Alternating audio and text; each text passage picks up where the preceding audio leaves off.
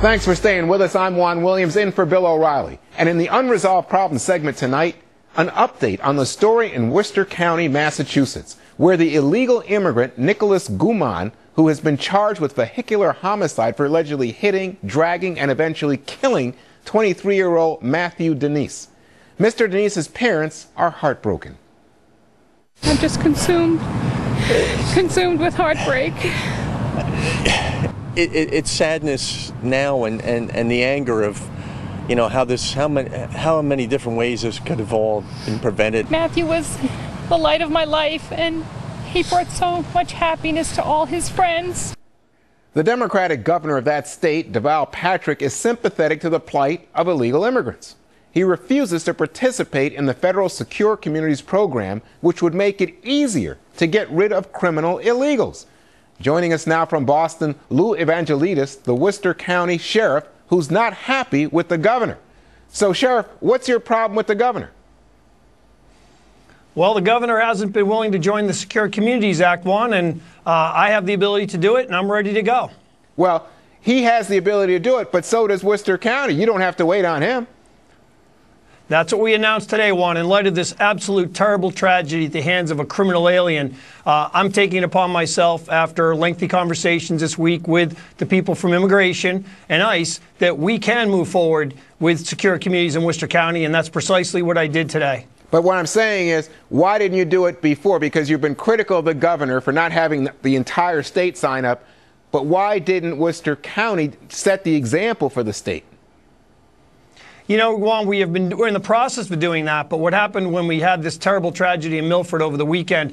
That defendant killed this this gentleman and moved to moved uh, from Massachusetts. Came into my possession at the jail in Worcester County. At that point, I decided I had enough. I was going to do everything in my power to join secure communities so a tragedy like this would never happen again.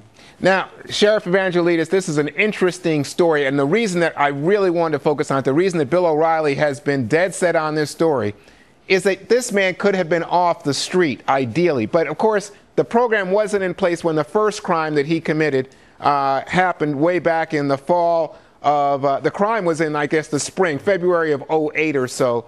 The Secure Communities program wasn't in place until the fall of 08. But the governor nonetheless says that it's bad policy. Now, here's his argument, Sheriff. His argument is that people with similar names can get caught up in this system that suddenly you'll have a dragnet and it's just dragging a bunch of people in. It's going to preoccupy law enforcement. Do you agree? Do you buy these arguments? Not at all, Juan. As a matter of fact, I just think that's just more doublespeak from a governor who doesn't want to protect the people of Massachusetts, uh, as I do and many people in law enforcement do. So I don't buy that for a minute. I think this is a great program. This program will allow us to communicate directly with Homeland Security and Immigration to find out the immigration of status of any individual that comes into the criminal justice system. And I can't imagine a reason that we would not want that information immediately. Now, is it the case, again, these are the arguments coming from the governor, Deval Patrick, is it the case that you fear that immigrants in your community might then turn against you and say, you know what, we don't want to participate. We want to want to cooperate with you, Sheriff, because we feel like you're just going after us, and therefore it would actually hurt hurt law enforcement in Worcester County. No, Juan, I've heard these arguments before, but I don't believe them. I believe, first of all, there's a lot of people in the immigrant community.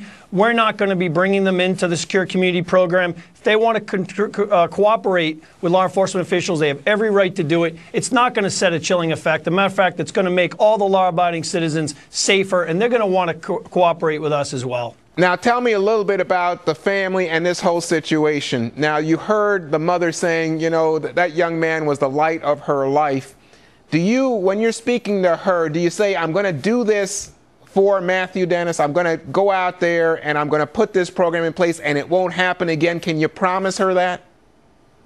No, of course not, Juan. But what I can do is promise the people of Worcester County that I represent in central Massachusetts. You know, I took an oath, Juan, and that was to protect the people and make sure public safety was number one. And I feel under the circumstances that I have to talk to the family of this terrible tragedy, to the victim's family, and tell them that I'm going to do everything in my power so this won't happen again. We can't assure people it'll never happen again. But we want to make sure in law enforcement we're using every tool available to us, and that's what I started today. I'm going to utilize every tool available. One of the best tools available is secure communities. Stay on it, Sheriff. We so much appreciate your coming in. Appreciate the fact that you're standing tall. Thank you. In a Thank moment, you, New York, New York City Mayor Michael Bloomberg refusing to allow people of faith to speak at the upcoming 10-year anniversary.